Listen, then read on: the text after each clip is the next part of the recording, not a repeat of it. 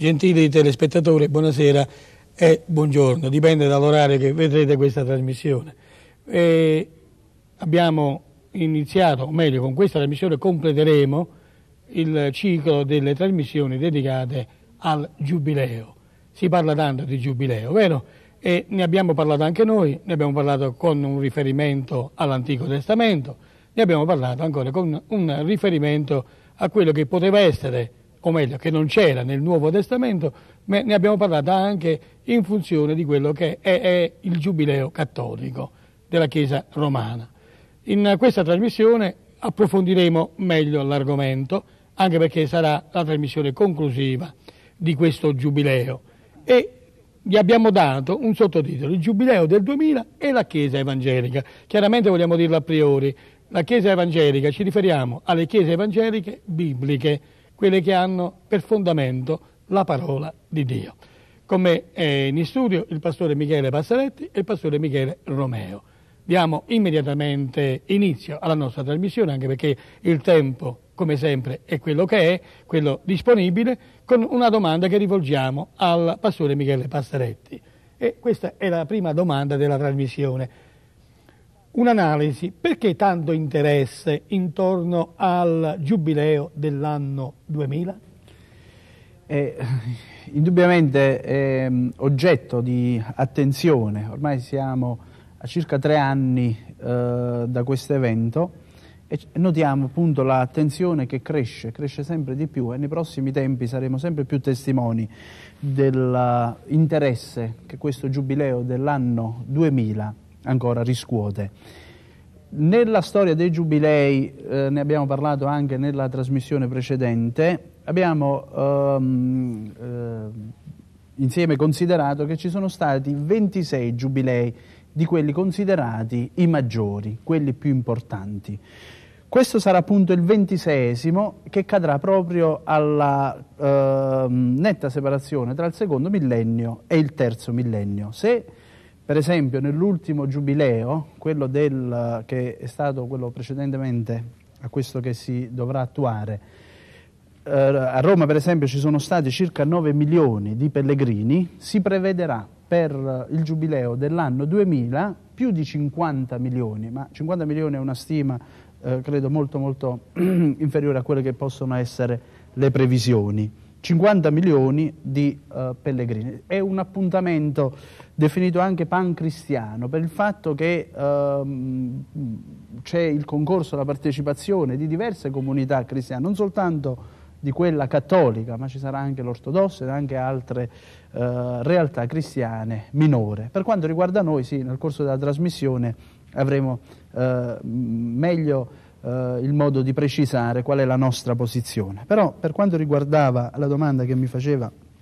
Pastore Remo, è un evento importante, perché? Perché a questo giubileo si è, eh, è coincisa anche questo, vogliamo definirlo, eh, eh, compleanno del uh, cristianesimo, siamo ormai nell'anno 2000, quindi entriamo nel terzo millennio e quindi dovrebbe essere in qualche maniera anche la festa del cristianesimo. A questo abbiamo detto si aggiunga il fatto appunto del ventisesimo ehm, giubileo. Dobbiamo anche eh, dire che la Chiesa Cattolica, eh, la Chiesa Romana, ha puntato, ha puntato, non dico tutto, ma eh, uno sforzo grandissimo c'è stato da parte della Chiesa Romana su questo giubileo, per, su questo evento, per ancora riacquistare una immagine di uh, cristianità, un'immagine ancora di uh, prestigio nell'ambito uh, dell'esercizio proprio della sua stessa realtà cristiana, della realtà della propria fede. Diciamo senza preamboli che è stata montata e si sta montando una macchina gigantesca pubblicitaria per questo evento che eh, sotto un certo aspetto eh, è piacevole. Questa gente, abbiamo sentito, verranno milioni, milioni di persone, verranno in terra italiana, chiaramente con centro Roma e poi altre, stiamo sentendo attraverso la televisione che si stanno eh, organizzando lavori, eh, si sta incrementando per quello che sono le strutture turistiche, eccetera, eccetera, eccetera però è importante non perdere mai di vista il punto spirituale, la ragione vera, autentica. E a questo punto dovremmo e dobbiamo con grande serietà e onestà dire quello che eh, stavo accennando prima.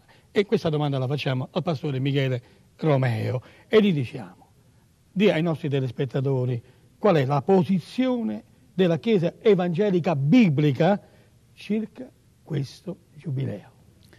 Vorrei rispondere anzitutto premettendo che non è una posizione nostra in quanto evangelici e pertanto diciamo essendo secondo alcuni in contrapposizione a quello che è il pensiero eh, religioso istituzionale, allora dunque è una posizione preconcetta. No, piuttosto ci piace dire qual è la posizione del Vangelo circa il Giubileo. Come già è stato detto anche in qualche trasmissione precedente, nel Vangelo non abbiamo nessuna traccia di Giubileo. È stato detto una festa ebraica, una festa che Gesù non ha mai eh, dato nessun insegnamento nel suo ministero mentre era qui sulla faccia della terra e né quando è asceso al cielo. È stato detto anche parlando così della storia del cosiddetto giubileo cattolico romano, qualcosa voluta dal popolo.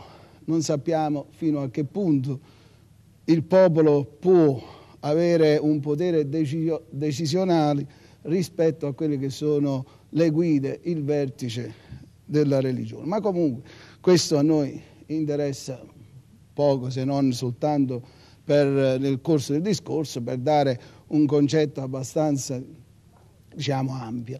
Ma in questo giubileo, come negli altri giubilei, noi vedremo una grande pubblicità, una grande festa, già ne stiamo vedendo, avvertendo i sintomi, ma poi quando sarà il momento, essendo che personalmente ho avuto già occasione di vedere qualche festa di qualche giubileo precedente, non abbiamo eh, possibilità di vederne tante perché visto che avviene ogni 25 anni, ma questa porta che si apre, che si apre, questa porta d'oro, per cui c'è questa apertura di questa grazia. Sono fenomeni, diciamo chiaramente, e lo diciamo senza nessuna ombra di voler polemizzare, ma soltanto per amore di verità. Religioni come la cattolica romana aprono le porte in questo giubileo, in questo venticinquesimo anno, affinché pellegrini passano e ricevono perdono. Altre porte sono chiuse. A Gerusalemme c'è la porta d'oro perché gli ebrei aspettano il ritorno del Messia, allora quella porta l'aprirà il Messia quando lui verrà. Per non fare aprire quella porta, i palestinesi ci hanno fatto un grande cimitero perché secondo la legge ebraica un ebreo non può avere contatto con i morti e dunque il Messia non passerà mai per quella porta. Dunque, porte che si aprono per dare grazia, porte che si chiudono affinché non ci sia grazia. Dunque, tra queste posizioni contrapposte noi rispondiamo con quello che è la parola di Gesù che lui stesso ha detto. Io sono la porta. Chi entra per me sarà salvato porte che si aprono o porte che si chiudono rispetto a quello che è la verità del Vangelo di Gesù Cristo, veramente non hanno nessun senso di aprirsi o di stare chiuse.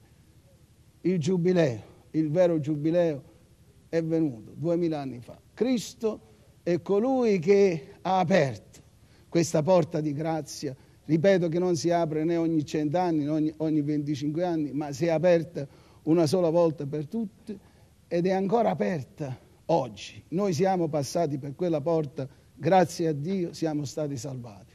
Vogliamo dire a quanti volessero veramente entrare attraverso Cristo, lo diciamo con, molta, con molto amore, anche a quanti propinano questi insegnamenti, queste tradizioni. Viviamo in un tempo in cui mai come oggi la nostra società ha bisogno di Cristo allora diamo Cristo, diamo il messaggio del Vangelo alle persone, che è l'unico messaggio che può cambiare la vita e la società. Altrimenti continueremo a dare giubilei e tante altre tradizioni che magari porteranno i turisti a casa con le tasche vuote, ma soprattutto con il cuore vuoto E questa è la delusione più grande. La nostra speranza è che il cuore delle persone veramente vuote di questa società possa essere riempito attraverso un unico passaggio, che è il passaggio attraverso Cristo. Io sono la via, la verità e la vita, ha detto Gesù. Nessuno, nessuno viene al Padre senza di me. Questa è la verità e la posizione del Vangelo. Vorrei chiarire anche un concetto che molti telespettatori si chiederanno. Eh, spesso ci sentono parlare di chiese bibliche o chiese fondamentaliste. Questo termine fondamentalismo o fondamentalista eh, non vorremmo che si confondesse con eh, un fanatismo eh, di altre religioni. Vogliamo chiarire che cosa intendiamo come chiese bibliche, perché ci sono le chiese bibliche e ci sono le cosiddette chiese evangeliche storiche, chiese evangeliche bibliche, chiese evangeliche storiche, sono nostri fratelli, ma si tratta soltanto e soprattutto nell'applicazione, nell'applicazione di quella che è la parola di Dio. Per noi chiese evangeliche e bibliche, la Bibbia è il fondamento della nostra fede. Per le chiese storiche la Bibbia, eh, si vengono chiamate anche evangelici liberali, è diciamo relativo. Per noi non è relativo, è, è indiscussamente è diciamo fondamentale. Per noi la parola, la Bibbia è tutta la parola di Dio. Non sono delle indicazioni, ma è una realtà, perché questa parola è spirito e vita, perché questa parola rappresenta la perfetta volontà di Dio per ogni credente. Fatta questa precisazione, mi voglio ricollegare a quello che avevamo fatto oh, come domanda al pastore Michele Romeo per continuare con Michele Passeretti, di una posizione. Parliamo di una posizione per dire di una un modo di poter accettare o meno certe situazioni e vorremmo insistere su questo. Qual è la posizione delle nostre chiese evangeliche bibliche? Perché già stiamo vedendo che altri evangelici storici eh, le cose vanno in una certa maniera, ma noi vogliamo chiarire la posizione in rapporto alla nostra fede scritturale, alla nostra fede biblica. Vuoi dirci qualcosa, Michele?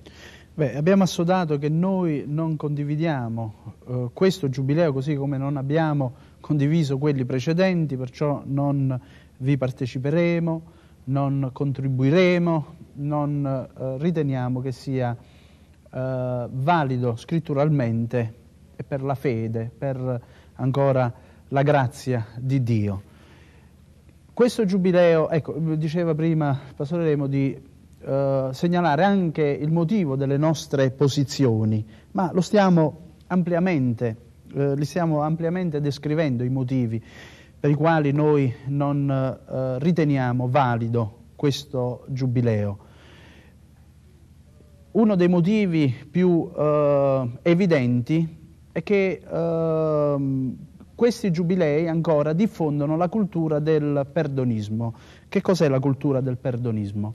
È quella ancora idea che si inculca nel credente che eh, ad ogni peccato vi è sempre una, una, soluzione. In questa cultura del perdonismo anche la cultura secolare, sociale, ne è direttamente influenzata. Vedete, oggi si fanno eh, degli abusi edilizi nell'attesa e nella speranza che eh, mh, uscirà quanto prima o dopo un condono, si fanno ancora eh, dei reati finanziari, dice prima o poi uscirà un condono, si delinque, dice prima o poi ci sarà un'amnistia. Questa è la cultura del perdonismo, dice possiamo farlo perché c'è una soluzione. Nella Bibbia eh, la parola di Dio non ci insegna la cultura del perdonismo, ma ci insegna la cultura della grazia dove il credente, la persona che riconosce il suo stato di peccatore, lì dove ancora ha riconosciuto la sua deficienza per venire alla grazia di Dio,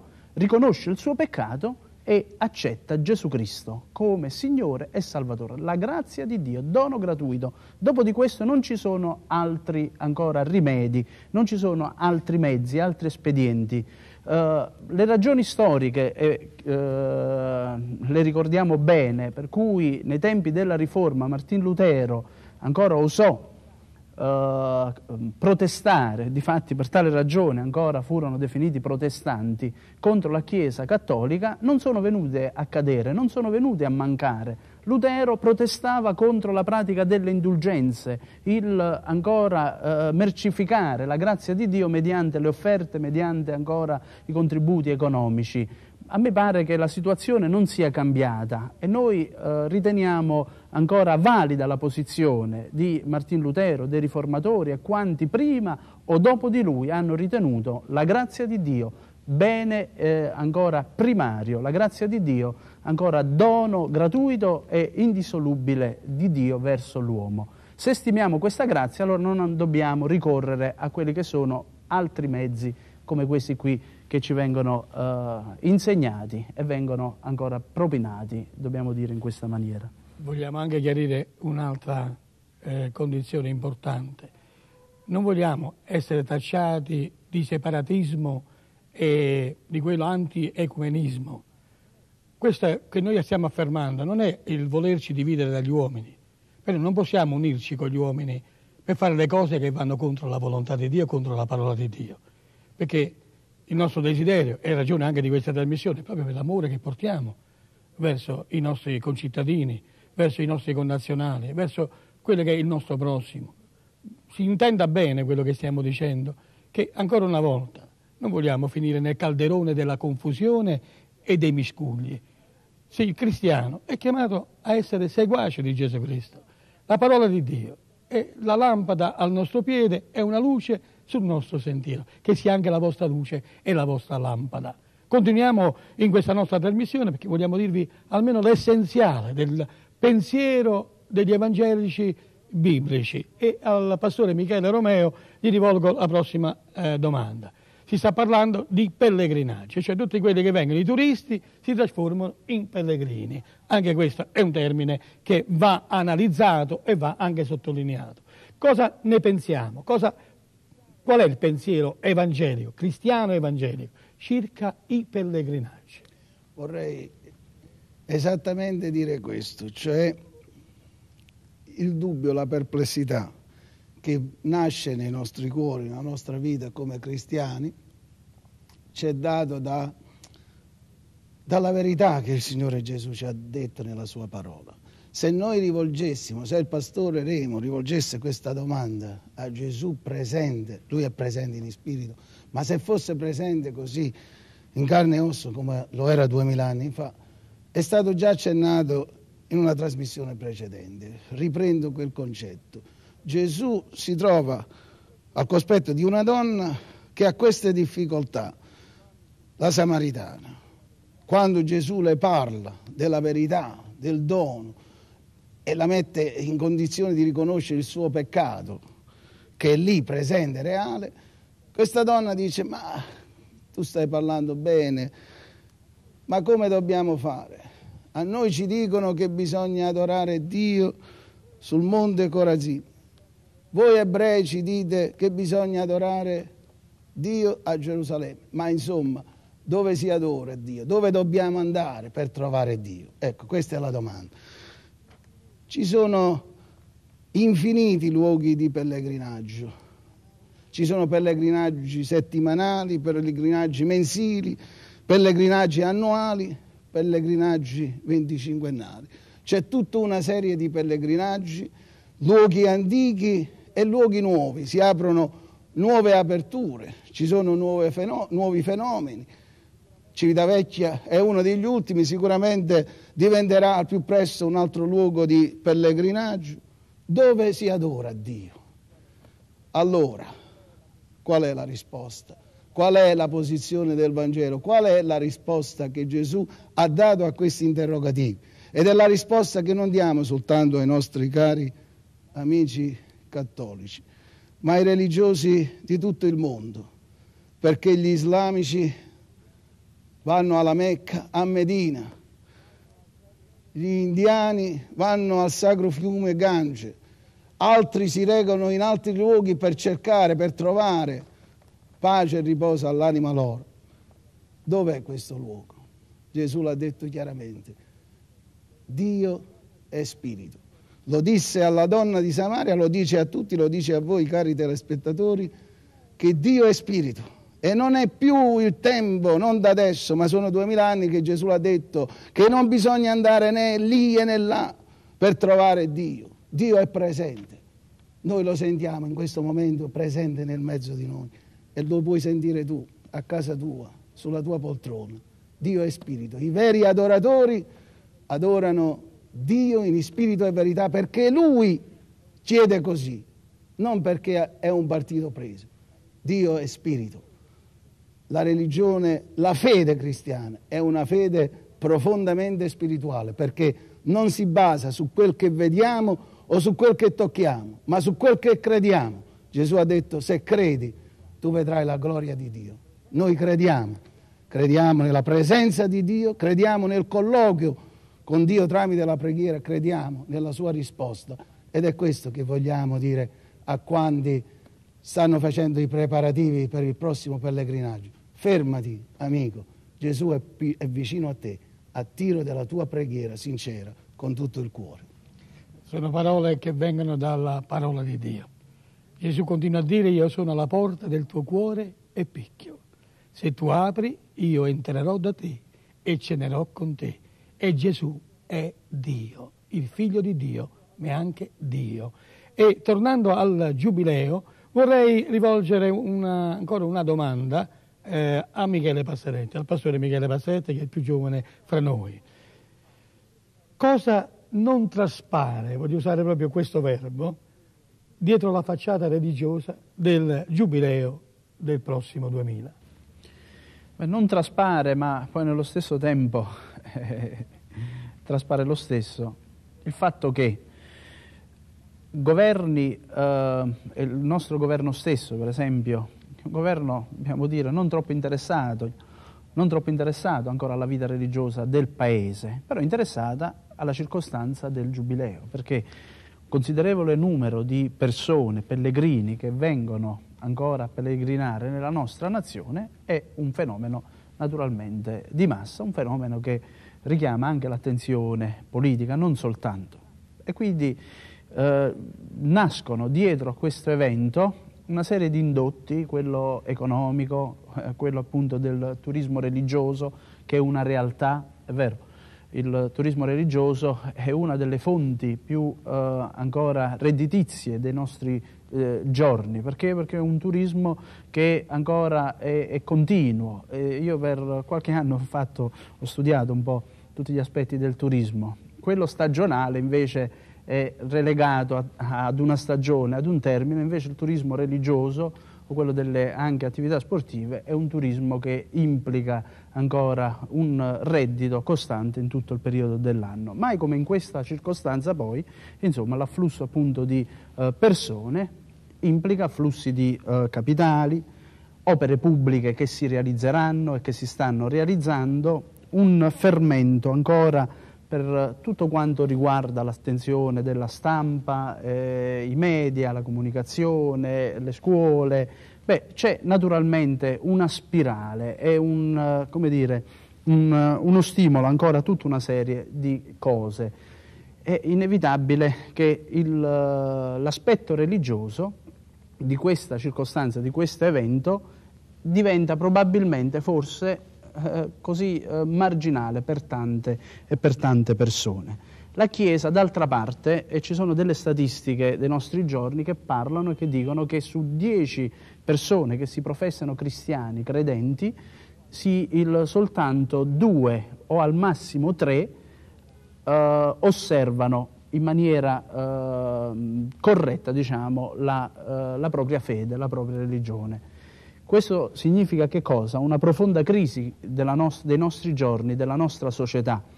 E eh, io credo che, e, eh, credo anche nella bontà diciamo, di, questa, eh, di queste intenzioni, credo che la Chiesa cattolica romana tenti di sanare questa, queste crisi attraverso anche questo evento, dando un contributo. Però io, come diceva prima il pastore eh, Michele Romeo, vorrei trovarmi all'indomani dell'anno 2000, all'indomani del giubileo in questo momento, proprio per segnalare quanta spiritualità nuova ha prodotto questo evento. Il pastore Michele Romeo parlava di persone che probabilmente ritorneranno deluse e noi ne abbiamo già la certezza a distanza di anni da questo evento. Perché? Perché non sarà questo evento a riportare ancora un clima di spiritualità rinnovata nella vita di un paese, nella vita delle famiglie, nella vita delle persone. Perché? Perché l'aspetto centrale della predicazione del Signore Gesù Cristo ancora una volta viene trascurato. Gentili telespettatori, a questo punto credo che abbiamo detto quello che almeno doveva essere detto. Personalmente ritengo il giubileo cattolico come una, qualcosa di folcloristico e ve lo dico con tanta sincerità. Ma a conclusione, e chiudiamo questa anche se non voluta polemica, con un pensiero bello, biblico. E voglio rivolgere uh, l'invito al pastore Michele Romeo. Vogliamo concludere in questa maniera. Il vero giubileo della Chiesa come immagine del ritorno del nostro Signore Gesù Cristo. Bene, per arrivare alla conclusione ripartiamo dall'inizio. C'è la prima predicazione di San Pietro il giorno di Pentecoste, così come viene riportata dal libro degli Atti degli Apostoli, ed è anche un po' la conclusione del suo messaggio.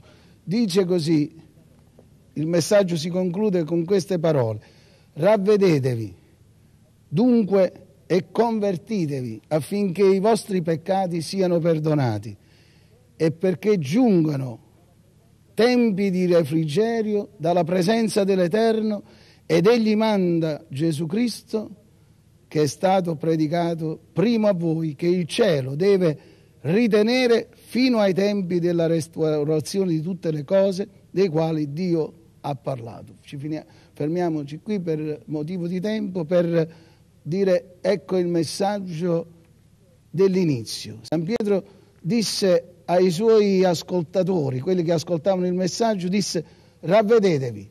Dunque, per ricevere il perdono dei vostri peccati dovete ravvedervi e convertirvi. Il messaggio non è cambiato, è lo stesso, anche oggi vale.